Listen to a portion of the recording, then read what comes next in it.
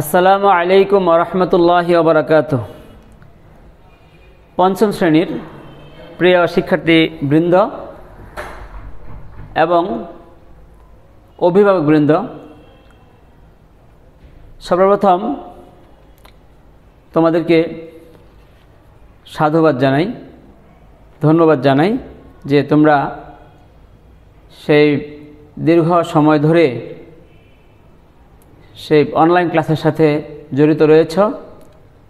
Online class আমার ঘরে, আমার স্কুল এই অনুষ্ঠানের শামসুল হকান স্কুল অ্যান্ড কলেজ কর্তৃপক্ষ যে আয়োজন করেছেন, আমাদের প্রিন্সিপাল স্যার তাকেও ধন্যবাদ জানাচ্ছি। আল্লাহ তালার কাছে শুক্রিয়া জ্ঞাপন করছি যে আল্লাহ পাক রাবুল আলমিন আমাদেরকে একটি দীর্ঘ মহামারী তথা এই করোনাকালীন সময়ে আল্লাপাক আমাদেরকে সুস্থ রেখেছেন, ভালো রেখেছেন। এজন্য আমরা শুক্রিয়া জ্ঞাপন করছি। আলহামদুলিল্লাহ। আমরা অর্ধবার্ষিক পরীক্ষার একটি সংশোধিত সিলেবাস প্রণয়ন করেছি। যে এই সংশোধিত সিলেবাসের মধ্যে বইয়ের সবগুলো অধ্যায় থেকেই ইম্পর্টেন্ট অংশ দেখে দেখে আমরা সিলেবাস করেছি। যাতে করে এই সংশোধিত সিলেবাসটুকু যদি তোমরা ভালো করে ফলো করতে পারো, তাহলে তোমরা পিএসসি পরীক্ষা ইনশাল্লাহ ভালো করবে। তো আজকের পঞ্চম শ্রেণির ইসলাম শিক্ষা বিষয়ের আমি যেই পাঠ অধ্যয়ন করাবো তোমাদেরকে, সেটা হলো দ্বিতীয় অধ্যায়। এই দ্বিতীয় অধ্যায়ের মধ্যে অনেকগুলো টপিক রয়েছে ইম্পর্ট্যান্ট টপিক সেগুলো ইবাদত, সালাত, সালাতের আহকাম ও আরকান, সালাতের ওয়াজিব, মসজিদের আদব জাকাত কোরবানি, পরিচ্ছন্নতা। সকল ধর্ম ও ধর্মাবলম্বীদের প্রতি শ্রদ্ধাশীল হওয়া, আখলাক ও নৈতিক মূল্যবোধের আদর্শ কাহিনী। অবশ্য আখলাক ও নৈতিক মূল্যবোধের আদর্শ কাহিনী এটা পরের অধ্যায় থেকে নেওয়া হয়েছে ক্লাসের সুবিধার জন্য। দ্বিতীয় অধ্যায় আমি এজন্যই এখান থেকে শুরু করেছি আজকে। দ্বিতীয় অধ্যায়টুকু হলো বড় এবং ইম্পর্টেন্ট এই পার্টগুলো বেশি ইম্পর্টেন্ট এখান থেকে প্রায় অনেকগুলো প্রশ্ন এসে থাকে। তো আজকের এই পর্যায়ে ইবাদত সম্পর্কে তোমাদেরকে ধারণা দিব। তোমরা জানো, ইবাদত শব্দটি আরবি ভাষার শব্দ আব্দুল ধাতু থেকে এসেছে। ইবাদত শব্দের অর্থ হল আনুগত্য করা, দাসত্ব করা, বন্দিগি করা। শরীয়তের পরিভাষায় আল্লাহ তালার আনুগত্য স্বীকার করে তার যাবতীয় আদেশ নিষেধ মেনে চলাকে ইবাদত বলে। আমি আবারও বলি, শরীয়তের পরিভাষায় আল্লাহ তালার আনুগত্য স্বীকার করে তার যাবতীয় আদেশ নিষেধ মেনে চলাকে ইবাদত বলে। আল্লাহ আমাদের ইলাহ ইলাহ শব্দের অর্থ হলো মাহবুদ আর আমরা তার আব্দ। আব্দ মানে হলো অনুগত বান্দা। আমাদের কর্তব্য হলো আল্লাহ তালা যেসব কাজ করলে খুশি হয়, যা যা করতে বলেছেন তা করা, আর যা যা করতে নিষেধ করেছেন তা থেকে বিরত থাকা। তাহলেই আমাদের সামগ্রিক কাজটা ইবাদতের মধ্যে গণ্য হবে। ইবাদত সম্পর্কে আল্লাহ পাক রব্বুল আলমিন সোরা জারিয়াতের ছাপ্পান্ন নং আয়াতের মধ্যে ঘোষণা করেছেন আউজবিল্লাহমিনশিতনির রাজিম, বিসমিল্লাহির রহমানির রহিম। খলাকতুল জিন্না ওয়াল ইনসা ইল্লা লিয়াবুদুন। আল্লাহ তালা বলেছেন, আর আমি জিন ও মানব জাতিকে কেবল আমার ইবাদতের জন্যই সৃষ্টি করেছি। এই মানব জাতির সৃষ্টির উদ্দেশ্য হলো ইবাদত করা। তাহলে যেহেতু আল্লাহ পাক রব্বুল আলমিন ইবাদতের জন্যই সৃষ্টি করেছেন, তাহলে কি আমাদের দ্বারা সম্ভব চব্বিশ ঘণ্টা ইবাদতের মধ্যে নিমগ্ন থাকা অবশ্যই সম্ভব। তাহলে সেটা কি করে হয়? একজন মুসলিম সেই ঘুম থেকে ওঠার পর থেকে আবার সারা দিন যে ঘুমানো পর্যন্ত, অর্থাৎ সকাল থেকে আবার রাত অবধি এই পুরা সময়টাই ইবাদতের মধ্যে গণ্য হবে। যদি না সেই মুসলিম আল্লাহ তালার আদেশ এবং নবী করিম সাল আলী আসসালামের দেখানো মত, পথ অনুযায়ী তার কার্যাবলী আঞ্জাম দিয়ে থাকে। যেমন, ঘুম থেকে উঠে একটা দোয়া আছে সেই দোয়া যদি পড়ে, তাহলে তার ঘুমটা ইবাদতের মধ্যে হয়ে গেল। আবার ঘুম থেকে উঠে ওয়াশরুমে যাবে। ওয়াশরুমে যাওয়ার সময় বিসমিল্লাহ রহমান রহিম বলে ঢুকবে। ওয়াশরুমে যাওয়ার সময় যে নির্দিষ্ট দোয়া আছে দোয়া পড়বে, বের হওয়ার সময় দোয়া পড়বে, তাহলে তার ওয়াশরুম করাটাও ইবাদতের মধ্যে গণ্য হবে। এইভাবে প্রত্যেকটি কাজ, প্রত্যেকটি মোমেনের প্রত্যেকটি ভালো কাজেই ইবাদতের মধ্যে গণ্য হবে। ইবাদত একটা সার্বিক সকল কাজের মধ্যেই যদি সেটা আল্লাহ তালা আদেশ থাকে আর সেই কাজটা আল্লাহ রসুল সাল্লাহ ইসলামের তরিকা অনুযায়ী করলে সেটা ইবাদত হবে। এই ইবাদতগুলোর মধ্যে কতগুলো বেসিক ইবাদত রয়েছে, মৌলিক ইবাদত রয়েছে, সেটা হলো সালাদ সাওম, হজ জাকাত সাদাকা, দান খয়রাত ও আল্লাহর পথে জিহাদ। এগুলো মহানবী সাল্লাহ সাল্লাম যেভাবে আদায় করেছেন, আমাদের সেভাবে আদায়, যেভাবে আদায় করতে বলেছেন ঠিক সেভাবে আদায় করাটাই ইবাদত। ইবাদত শুধু সালাদ সামামের মধ্যে সীমাবদ্ধ নয়, আল্লাহ তালার সন্তুষ্টির জন্য, আল্লাহ রাসুল সাল্লাহ ইসলামের দেখানো পথে যে কোনো ভালো কাজই ইবাদতের মধ্যে গণ্য। নবী করিম সাল্লাহ সাল্লাম বলেছেন, যে ব্যক্তি কোনো ভালো কাজের পরামর্শ দেয়, সে ব্যক্তিও কাজটি সম্পাদনকারীর সমান পুরস্কার পাবে। মুসলিম শরীফের হাদিস।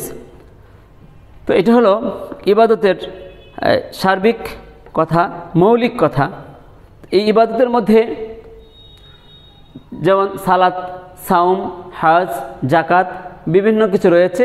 এর মধ্যে এই আমাদের যে প্রথম পর্যায় সেটা হলো সালাত। অর্থাৎ হাদিস শরীফে রয়েছে, নবী করিম সাল্লাম বলেছেন, বুনিয়াল ইসলাম ও আলা খামসিন, শাহাদাত আল্লাহ ইলাহ ও আন্না মুহাম্মদ রসুল্লাহ ও ইকাম ইসলা ও ইতা ইজাকা অল হাজ্জে ও সৌমি রমাদান। অর্থাৎ কালিমা গ্রহণের পরে আন্তাসাদ আল্লাহ ইলাহ মুহাম্মদ রসুল্লাহ সাল্লাহ সাল্লাম অর্থাৎ আমি সাক্ষ্য দিচ্ছি যে আল্লাহ ছাড়া অন্য কোনো মাহবুদ নেই এবং মোহাম্মদ সাল্লাহ সাল্লাম আল্লাহর বান্দা ও রাসুল। এই কালিমা স্বীকারোক্তি দেওয়ার পরের সেকেন্ড যে কাজ থাকে সেটাই হলো সালাত। এবার আমরা আসি সালাত সম্পর্কে। সালাত শব্দটিও আরবি ভাষার শব্দ। এর অর্থ হলো দুয়া, প্রার্থনা করা, বিনয়, বিনম্র হওয়া ইত্যাদি অর্থ রয়েছে। ইসলামী পরিভাষায় সালাদ বলা হয় আহাকাম, আরকান সহ বিশেষ নিয়মে আল্লাহর ইবাদত করাকে সালাদ বলে। আমি আবার বলছি, ইসলামী পরিভাষায় আহাকাম, আরকান সহ বিশেষ নিয়মে আল্লাহর ইবাদত করাকে সালাত বলা হয়। সালাত হলো পাঁচ অক্ত দৈনিক একজন মোমেনের পাঁচ অক্ত সালাত আদায় করতে হয়। এই সালাতের জন্য যে নির্ধারিত সময় রয়েছে, এই সময় অনুযায়ী যদি কোনো ব্যক্তি সালাত আদায় করে, তাহলে তার সালাত আদায় হবে। অন্যথায় সালাত কিন্তু সময় সালাত পড়লে, যখন তখন ইচ্ছে করে সালাত পড়লে সালাত হবে না। কারণ সালাত আদায়ের জন্য সুনির্দিষ্ট সময়সূচি রয়েছে। তো সালাতের আদায়ের ব্যাপারে অনেকগুলো হাদিস রয়েছে। কেন আমরা সালাত আদায় করব? সালাদ আদায় করলে আল্লাহ তালা আমাদেরকে কি পুরস্কার দেবেন? সালাত কেন আদায় করব? সালাত আদায় করা প্রত্যেকটি মোমেনের জন্য ফরজ। এই জন্যই এই ফরজ ইবাদত, ইবাদতের নিমিত্তে সালাত আদায় করব। তো সালাত আদায় করলে এর কয়েকটি পুরস্কার জামাতের সাথে যদি আমরা সালাত আদায় করি, তাহলে নবী করিম সাল্লাহ সাল্লাম বলেছেন যে তোমাদের বাড়ির সামনে যদি একটি নদী প্রবাহিত থাকে আর সেই নদীর মধ্যে যদি কোনো ব্যক্তি দৈনিক পাঁচবার গোসল করে, তাহলে কি তার গায়ে কোনো ময়লা থাকতে পারে? সাহাবিরা বললেন, না, কোনো ময়লা থাকতে পারে না। তখন রাসুল সাল্লাহ আলী হাসাল্লাম বললেন, ঠিক তেমনই কোনো বান্দা যদি প্রতিদিন পাঁচবার সালাদ আদায় করে, তার আর কোনো গোনা থাকতে পারে না। এই হাদিসটি বোখারি ও মুসলিম শরীফে রয়েছে। নবী করিম সাল্লাহ ইসলাম আরেকটি হাদিসে বলেছেন, কোনো ব্যক্তি জামাতের সাথে সালাত আদায় করলে তাকে পাঁচটি পুরস্কার দেওয়া হবে। এক, তার জীবিকার অভাব দূর করবেন। দুই, কবরের আজাব থেকে মুক্তি দেবেন। হাসরে আমলনামা ডান হাতে দেবেন। পুলসিরাত বিজলির মতো দ্রুত পার করবেন, তাকে বিনা হিসেবে জান্নাত দান করবেন। সালাদ সম্পর্কে আরও অনেক হাদিস রয়েছে। আরেকটি হাদিস রয়েছে, নবীজি বলেছেন আসলাত মিফতাহুল জান্না সালাত হলো জান্নাতের চাবি। সুতরাং আমাদের উচিত হবে এই পাঁচক্ত সালাদ সময় অনুযায়ী আদায় করা। তৃতীয় পর্যায়ে এই সালাদ আদায় করতে হলে আমাদের যে নির্দিষ্ট কতগুলি ফরজ রয়েছে সালাতের ভিতরে এবং বাইরে নির্দিষ্ট কতগুলো ফরজ কাজ রয়েছে, সেই ফরজগুলোকে আহাকাম আরকান বলা হয়। এই আহাকাম আরকান সম্পর্কে আমাদের ধারণা রাখতে হবে। সালাতের আহাকাম ও আরকান। আহাকাম কি? আরকা, আহাকাম হলো সালাতের বাহিরে যে ফরজ কাজগুলো রয়েছে সেগুলোকে বলা হয় আহকাম। আর ভিতরে যে ফরজ কাজগুলো রয়েছে, সেগুলিকে বলা হয় আরকান। সালাতের আহকাম, আরকান দুটা মিলে কোনো হাদিসে রয়েছে চোদ্দোটি, কোনো হাদিসে রয়েছে তেরোটি। তো এখানে চোদ্দোটির কথা বলা আছে। এক, আহকাম, সালাতের আহকামের কথা বলছি। সালাত শুরু করার আগে যে ফরজ কাজগুলো রয়েছে, সেগুলোকে বলা হয় সালাতের আহকাম। সালাতের আহকাম ষাটটি নাম্বার ওয়ান শরীর পাক, কাপড় পাক, জায়গা পাক, সতর ঢাকা, কেবলামুখী হওয়া, সালাতের অক্ত হওয়া, সালাতের নিয়ত করা। শরীর পাক, প্রয়োজন মতো অজু গোসলের মাধ্যমে, আবার তাইমুমের প্রয়োজন হলে তাইমুমের মাধ্যমে শরীর পবিত্র করা। কাপড় পাক করা, পরিধানের কাপড় চোপড় পাক পবিত্র রাখা। জায়গা পাক, আমরা যে জায়গায় সালাত আদায় করব, সেই জায়গাটি পাক পবিত্র হওয়া। সতর ঢাকা।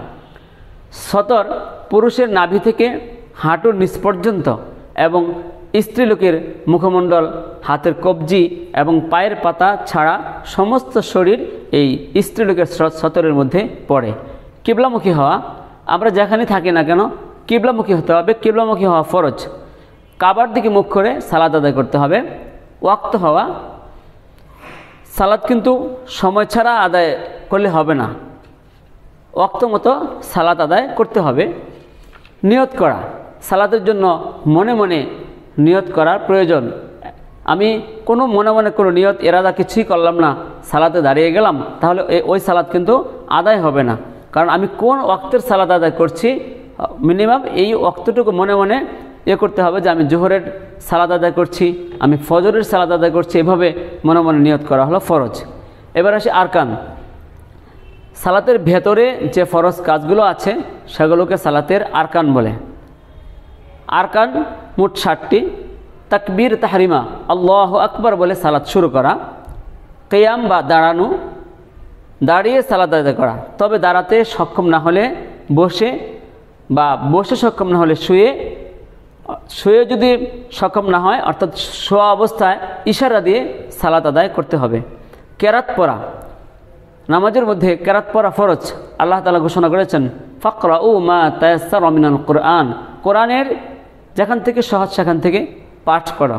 তাহলে এই সালাতের মধ্যে কেরাত পাঠ করা হলো ফরজ, রুকু করা। আল্লাহ তালা এই রুকু করা সম্পর্কে বলেছেন, অরকাউ মার রকেইন তোমরা রুকুকারীদের সাথে রুকু করো, অর্থাৎ রুকু করা ফরজ। সেজদা করা। সেজদা করা ফরজ। শেষ বৈঠকে বসা। যে বৈঠকে তাসাহুদ দরদ, দোয়া মাসোড়া পড়ে সালাতের মাধ্যমে সালাত শেষ করা হয়, তাকেই বলে শেষ বৈঠক। সালামের মাধ্যমে সালাত শেষ করা। এরপর আমরা আসি সালাতের ওয়াজিব। ওয়াজিব বলা হয় অবশ্য করণীয় ওয়াজেব মানে হলো অবশ্য করণীয় গুরুত্বের দিক দিয়ে ফরজের পরেই ওয়াজিবের স্থান।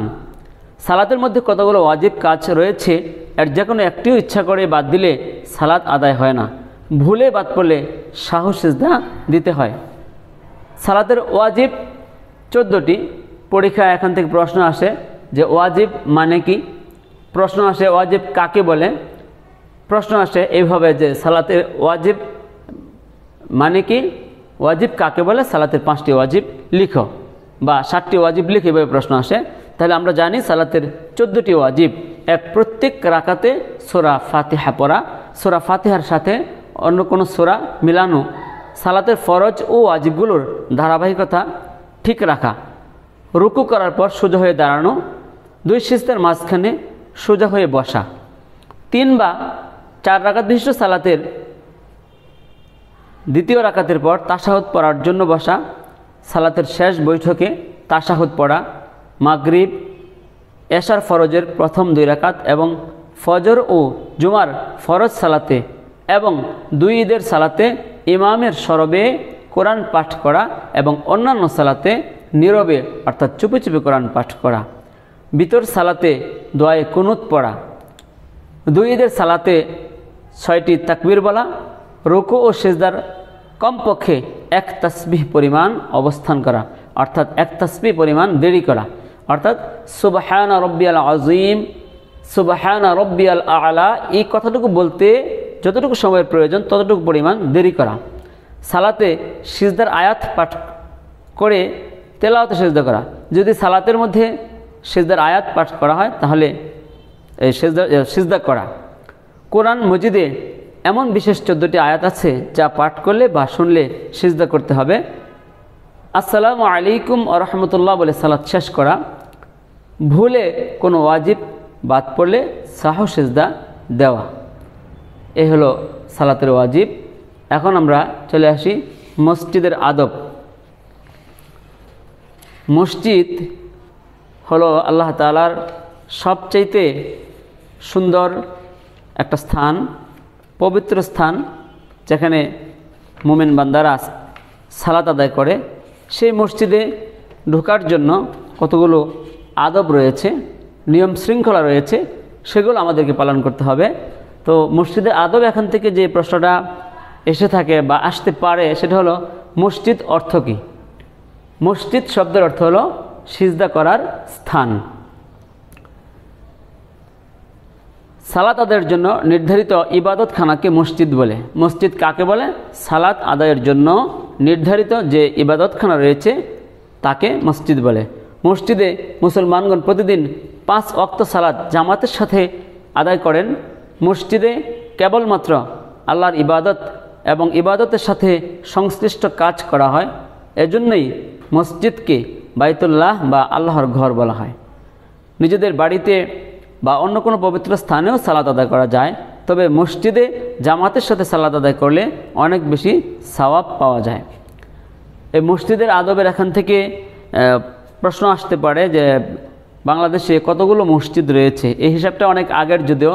তো পাঠ্য বইয়ে যেই পরিসংখ্যান দেওয়া আছে, সেটা হলো বাংলাদেশে দুই লাখেরও বেশি মসজিদ রয়েছে। তারপরে ঢাকা শহরকে বলা হয় মসজিদের শহর। এই ধরনের প্রশ্ন এখান থেকে আসতে পারে। তো মসজিদে প্রবেশের যে আদব বা নিয়ম শৃঙ্খলা রয়েছে, সেগুলো পাক পবিত্র ও পোশাক নিয়ে মসজিদে প্রবেশ করা। অর্থাৎ মসজিদে প্রবেশ করতে হলে সুনির্দিষ্ট পবিত্র পোশাক পরে মসজিদে প্রবেশ করা, পবিত্র মন ও বিনয় বিনম্রতার সাথে মসজিদে প্রবেশ করা, মসজিদে প্রবেশের সময় যার নির্ধারিত দোয়া রয়েছে আল্লাহুম মাফতাহলি আবা রহমাতিক এই দোয়াটি পড়ে মসজিদে প্রবেশ করা। মসজিদে প্রবেশের সময় হোড়াহুড়ি ধাক্কাতাকি এগুলি না করা। মসজিদে কোনো খালি জায়গা দেখে বসা। নিজে না গিয়ে অন্যকে সামনে যেতে বলা উচিত নয়। বেশি জায়গা জুড়ে বসবে না, অন্যদের বসার সুযোগ করে দেবে, এটা একটা আদব। লোকজনকে ডিঙ্গিয়ে পিছন থেকে সামনের দিকে না যাওয়া, মসজিদে কোনো অপ্রয়োজনীয় কথাবার্তা না বলা, কোরআন তেলাওয়াত ও ধর্মীয় কথাবার্তা শোনা, কোনো অবস্থাতেই হইচই, শোরগোল না করা, সালাত্রত কোনো মুসল্লির সামনে দিয়ে যাতায়াত না করা, মোবাইল খোলা রেখে বা অন্য কোনোভাবে মসজিদে শৃঙ্খলা ভঙ্গ না করা, মসজিদে বিনয় ও একাগ্রতার সাথে ইবাদত করা মসজিদ থেকে বের হওয়ার সময় এই দোয়া পড়া, আল্লাহম্মা ইন্নি আস আলোকা মিং ফদলিক। এই মসজিদের আদব থেকে যে প্রশ্নগুলো আসতে পারে, যে মসজিদ শব্দের অর্থ কি, আমি আগেও বলেছি, মসজিদ শব্দের অর্থ হলো সিজদা করার স্থান। তারপরে মসজিদ কাকে বলে? যেখানে নামাজের জন্য একটা সুনির্দিষ্ট জায়গা রাখা হয়, সেটাই পরিভাষায় মসজিদ বলা হয়। তো মসজিদে প্রবেশের পাঁচটি আদব লেখ যে কোনো পাঁচটি আদব লিখলেই হবে। এরপর আসি, এই দ্বিতীয় অধ্যায়ের মধ্যে আরও একটি ইম্পর্টেন্ট পার্ট সেটা হলো জাকাত আমি প্রথমে যে হাদিস পড়েছিলাম যে, বুনিয়াল ইসলাম আলা খামসিন, শাহাদত আল্লাহ ইলাহিল্লাহ ও আন্না মোহাম্মদ রসুল্লাহ ও ইকাম ইসালা ও ইতা ইজাকা এখানে তৃতীয়, এই সালাত আদায়ের সাথে সাথে জাকাতের কথা আল্লাহ পাক রাবুল আলমিন উল্লেখ করেছেন। তো জাকাত এখানে জাকাত শাব্দিক অর্থ জানতে হবে, পারিভাষিক অর্থ জানতে হবে, জাকাতের মাসারিফ কয়টি এগুলো জানতে হবে। জাকাত শব্দের অর্থ হলো পরিচ্ছন্নতা, পবিত্রতা, বৃদ্ধি ইত্যাদি অর্থ। জাকাত শব্দের অর্থ পরিচ্ছন্নতা, পবিত্রতা ও বৃদ্ধি। এখন জাকাত কাকে বলে? আসতে পারে। জাকাত কাকে বলে? মুসলমানদের নিঃসাব পরিমাণ ধন সম্পদের একটি নির্দিষ্ট অংশ বছর পূর্তিতে আল্লাহ তালার নির্ধারিত খাতসমূহে ব্যয় করাকে জাকাত বলে। অত্যন্ত ইম্পর্টেন্ট জাকাত শব্দের অর্থ কি? জাকাত কাকে বলে? এরপরে এখানে আরেকটি ইম্পর্টেন্ট প্রশ্ন যেটা এসে থাকে জাকাতের মাসারিফ। মাসারিফ শব্দের অর্থ হলো ব্যয় করার খাত। যাদের জাকাত দেওয়া যায়, তাদেরকে বলে জাকাতের মাসারিফ। সবাইকে জাকাত দেওয়া যায় না, কেবল আল্লাহ তালার নির্ধারিত আট শ্রেণির লোকের মাঝে জাকাত দেওয়া যায়। আর তা হলো এক নম্বর ফকির বা অভাবগ্রস্ত, দুই মিসকিন বা সম্বলহীন, তিন জাকাতের জন্য নিয়োজিত কর্মচারী বৃন্দ। অর্থাৎ যারা জাকাতের টাকা উত্তোলন করবে এবং সেটা ব্যয় করবে মানুষের মাঝে। ইসলামের প্রতি আকৃষ্ট হতে পারে এমন ব্যক্তি, অর্থাৎ নৌ মুসলিম, ইসলামের প্রতি আকৃষ্ট হতে পারে এমন ব্যক্তিকে জাকাত দেওয়া যেতে পারে। দাস মুক্তি, ইসলামের প্রাথমিক যুগে দাস মুক্তি এই প্রচলনটি ছিল। এখন অবশ্য এই খাটটি এখন আর নেই। ঋণগ্রস্ত ব্যক্তি, যারা ঋণগ্রস্ত, তার ঋণের ভারে সে লোক লজ্জার ভয়ে সমাজে সম্মানের সাথে চলাফেরা করতে পারে না। এরকম ঋণগ্রস্ত ব্যক্তিকে জাকাতের টাকা দেওয়া যাবে। আল্লাহর পথে সংগ্রামকারী ব্যক্তি, যারা আল্লাহর পথে, আল্লাহর দিনকে বিজয়ী করার জন্য বিভিন্নভাবে সংগ্রাম করে থাকে, তাদেরকেও জাকাতের এই অংশটুকু দেওয়া যাবে। অসহায় পথিকদের জন্য জাকাতের অর্থ দেওয়া যাবে। তাহলে এখানে এই জাকাতের আটটি মাসারিফের কথা উল্লেখ করা হলো। এই জাকাতের আটটি মাসারিফ, আটটি মাসারিফও পরীক্ষা আসতে পারে বা পাঁচটি আসতে পারে। যদি পাঁচটি আসে, বড় প্রশ্নের মধ্যে এভাবে আসবে যে মাসারিফ অর্থ কী? মাসারিফ কাকে বলে? জাকাতের যে কোনো পাঁচটি মাসারিফ লিখো। এভাবে এই জাকাত থেকে প্রশ্ন এসে থাকে। এরপরে আমরা চলে আসি কোরবানি। কোরবানি আমরা কিছুদিন আগেই ঈদ উল আজহা তথা কোরবানির ঈদ আমরা উদযাপন করেছি। এই কোরবানির, এটাও আরবি শব্দ, কোরবানির শব্দের অর্থ নৈকট্য, ত্যাগ, উৎসর্গ। আল্লাহ তালা নৈকট্য লাভের উদ্দেশ্যে ত্যাগ ও উৎসর্গ করা। কোরবানির সংজ্ঞাটি হলো, আল্লাহ তালার সন্তুষ্টি লাভের উদ্দেশ্যে ত্যাগের মনোভাব নিয়ে দশ জিলহজ হতে বারো জিলহজ পর্যন্ত সময়ের মধ্যে গৃহপালিত হালাল পশু আল্লাহর নামে উৎসর্গ করাকে কোরবানি বলে। এই কোরবানি কোন কোন পশু দ্বারা দিতে হয়?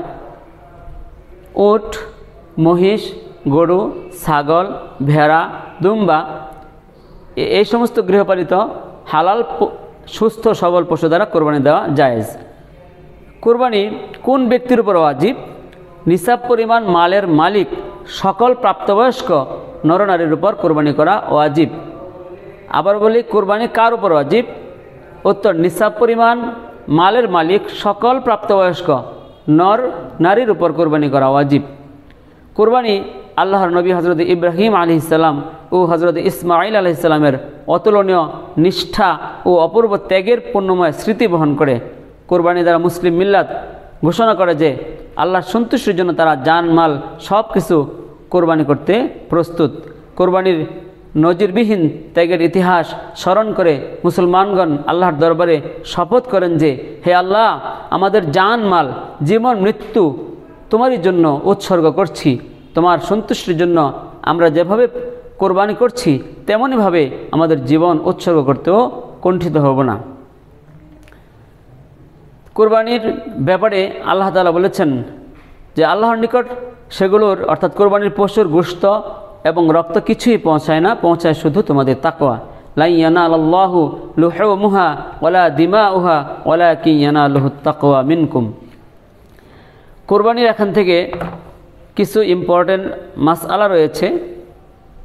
সেটা যে নিসাব পরিমাণ মালের মালিক মুসলিম নরনারীর উপর কোরবানি করা অজীব কোরবানি কাদের উপর অজীব নিসাব পরিমাণ মালের মালিক নর নারীর উপর কোরবানি করা অজীব তবে নাবালেক তথা অপ্রাপ্ত বয়স্ক নারী পুরুষের উপর কোরবানি করা অজীব নয়। দিলে সওয়াব হবে। কোরবানি কোন কোন তারিখে দেওয়া যাবে? জিলহজ মাসের দশ, এগারো বারো তারিখ, এই তিন দিন কোরবানি দেওয়ার সময়। এই তিন দিনের মধ্যে প্রথম দিন বেশি সওয়াব, তারপরের দিন একটু কম, তারপরের দিন আর একটু কম সওয়াব পাওয়া যাবে। তবে তিন দিনের যে কোনো সময় দেওয়া যাবে, তবে দিনের বেলা দেওয়া উত্তম। কোন কোন পশু দ্বারা কোরবানি দেব? ছাগল, ভেড়া, দুম্বা, গরু, মহিষ ওট ইত্যাদি গৃহপালিত, হালাল, সুস্থ সবল পশু দ্বারা কোরবানি করতে হয়। পশুটি হতে হবে নির্দোষ এবং নিখুঁত। এখন বয়স নির্ধারণ করতে হবে।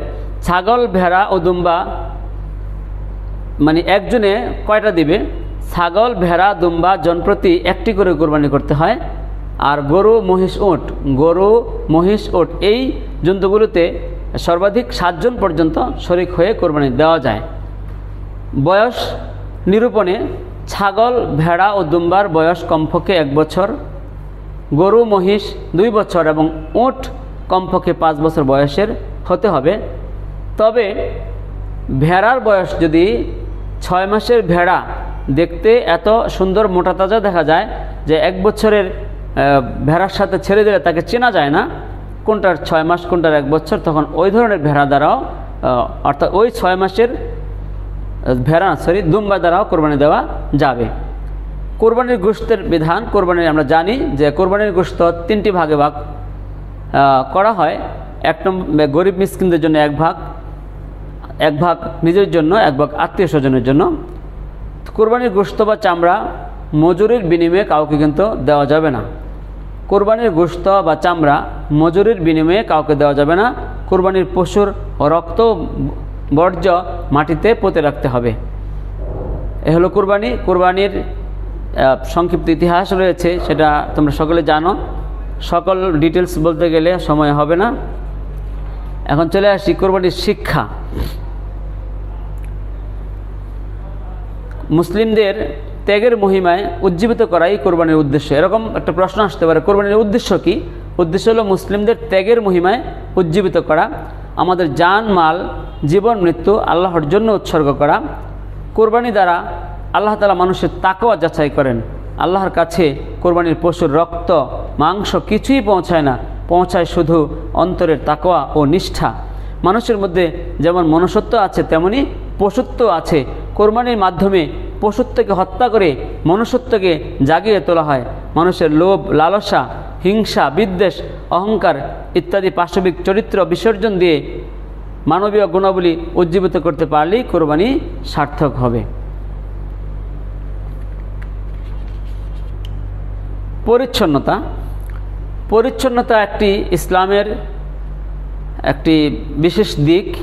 পরিচ্ছন্নতা সম্পর্কে আল্লাহ রাসুল সাল্লা সাল্লাম বলেছেন আর নাজোয়াফাতু নিসফুল ইমান পরিচ্ছন্নতা হলো ইমানের অর্ধেক। আর তহারাতু সাত্রুল ইমান পবিত্রতা হলো ইমানের অংশ। এভাবে আল্লাহ রাসুল সাল্লাহ আলি সাল্লাম পরিচ্ছন্নতাকে গুরুত্ব দিয়েছেন। শরীর, পোশাক ও স্থান বা পরিবেশের পরিষ্কার পরিপাটি, নির্মূল ও ময়লামুক্ত অবস্থাকে বলে পরিচ্ছন্নতা। পরিচ্ছন্নতাকে আল্লাহ রাসুল সাল্লা সাল্লাম এতই ভালোবাসতেন? তিনি একটি হাদিসে এই পরিচ্ছন্নতার অংশ হিসেবে মেসওয়াক করাকে উনি খুব গুরুত্ব দিয়েছেন।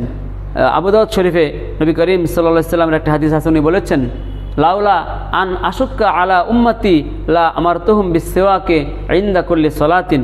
যে আমার উম্মতের জন্য যদি কষ্টকর না হতো, তাহলে প্রত্যেক পাঁচক্ত সালাতের আগে আমি মেসওয়াক করার নির্দেশ দিতাম।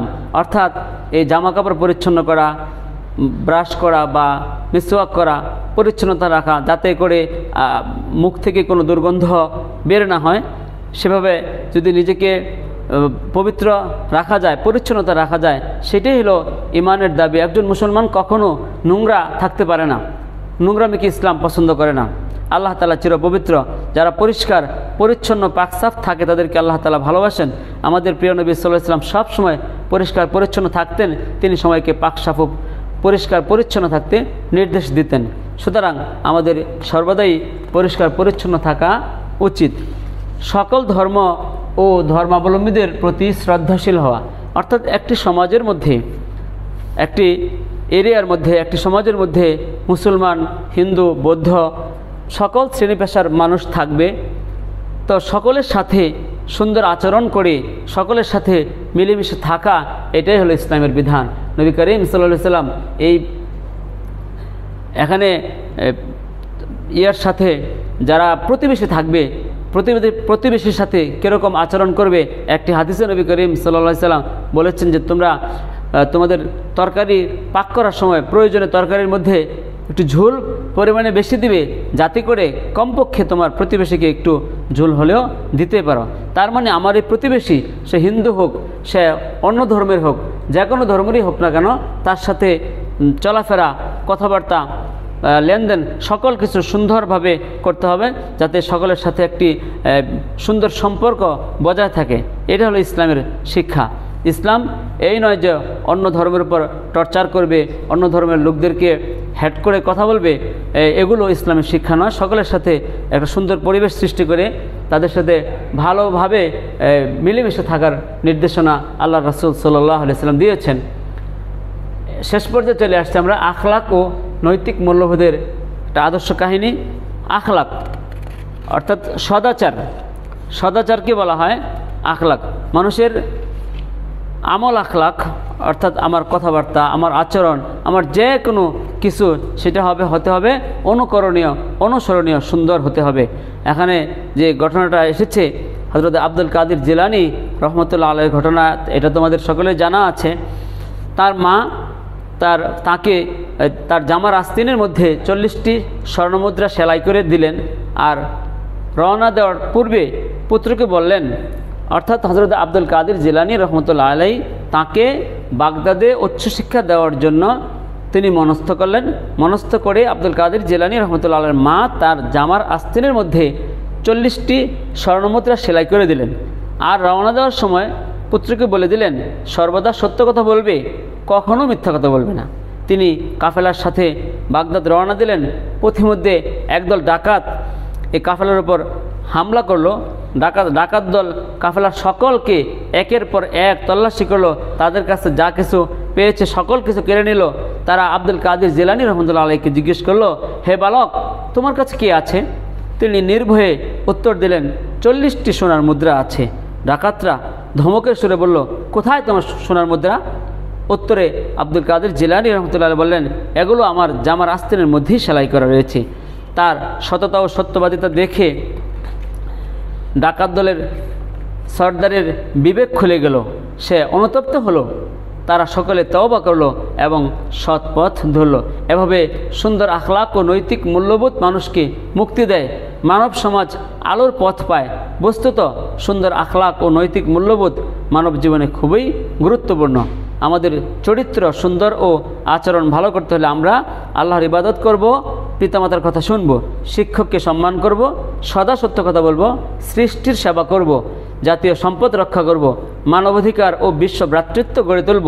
আমরা কতগুলো মন্দ আচরণ থেকে দূরে থাকব, যেমন আমরা মিথ্যা কথা বলব না, ঝগড়া বিবাদ করব না। হিংসা করব না, চুরি ডাকাতি করব না, ধূমপান করব না, দেশের ও জনগণের প্রতি কোনো ক্ষতি করব না, আল্লাহর ইবাদত ভুলবো না, কটু কথা বলব না। এই ছিল আজকের এই ক্লাসের আলোচ্য বিষয়।